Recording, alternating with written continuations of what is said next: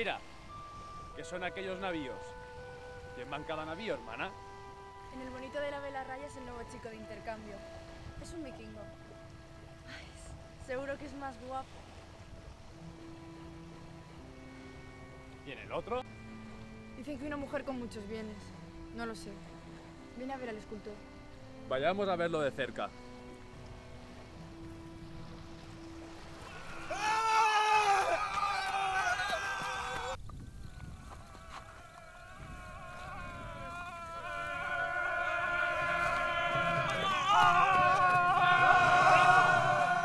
Zorla, demuestra cómo gritan los de tu pueblo.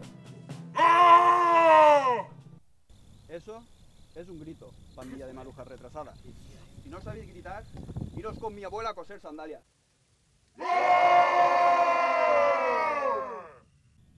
Ya está bien por hoy, pero recordad, nosotros no somos soldados de una gran legión, somos guerrilleros.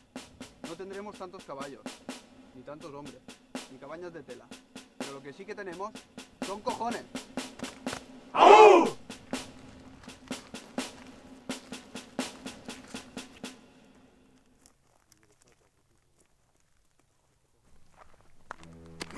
No vuelvas a sonreír a mi prometida, puto bárbaro.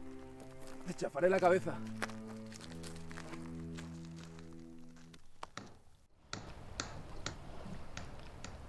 Huracán, ¿qué son los golpes que se escuchan?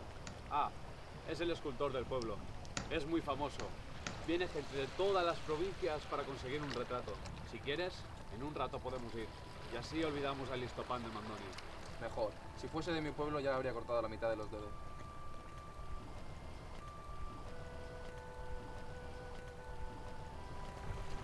Hola, hermano. Hola, Zorlac.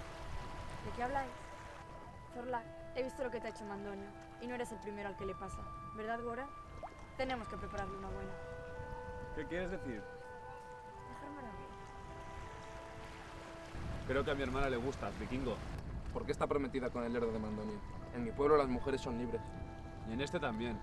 Pero Mandonio es el hijo del jefe. Si quieres hacer algo bien, va Mandonio y te jode.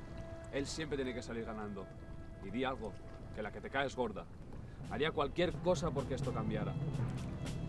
Menos por esto, todo lo demás en este pueblo está muy bien. Maldito Mandonio.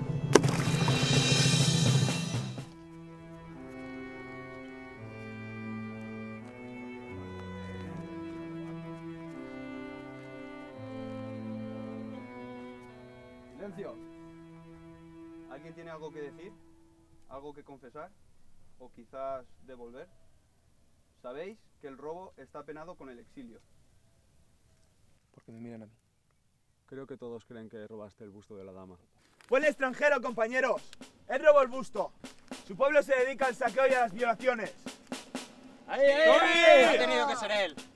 Estuvieron merodeando anoche en la posada del escultor. Él y su amigo Gorakan. Él fue el cómplice del robo.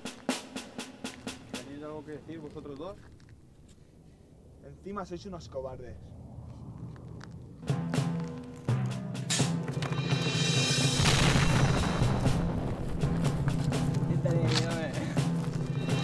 ¡Ya está bien! ¡Separaos! Esta noche os quiero ver a los tres en el consejo. Tú, tú y tú. Como consecuencia del robo y de la pelea de esta mañana, intolerable en mi clase, Asdrúbal, como jefe del consejo, y yo hemos decidido que Zorlak ya no es bienvenido en nuestro pueblo. Y Gorakán será escudero de Mandonio, hijo de Asdrúbal, durante los próximos tres meses. Yo soy vikingo y ningún estúpido consejo me juzga sin pruebas. Yo respeté vuestro pueblo. Nadie debería cagarse donde come y tampoco debería de cagarse en el plato del comensal invitado. Yo vine aquí para aprender, no para saquear. Y tú, tú eres el peor, Mandonio.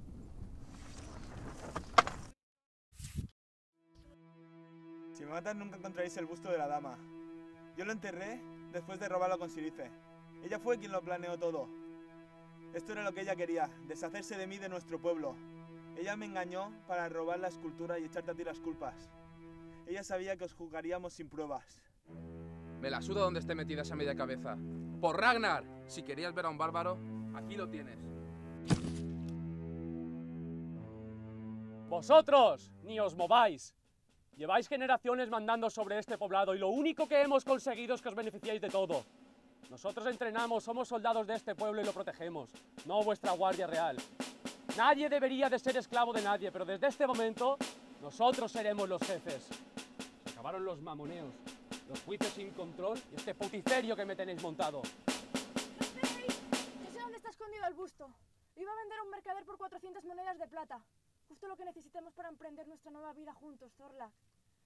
Él fue el que cambió el busto de escondite, así que no creas que está donde tú piensas que está.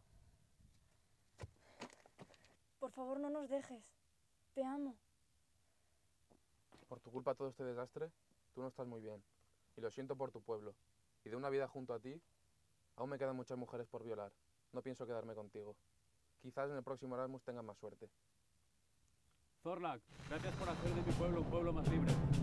Espero que ahora tengáis más suerte. Me vuelvo a mi pueblo. ¡Borodín!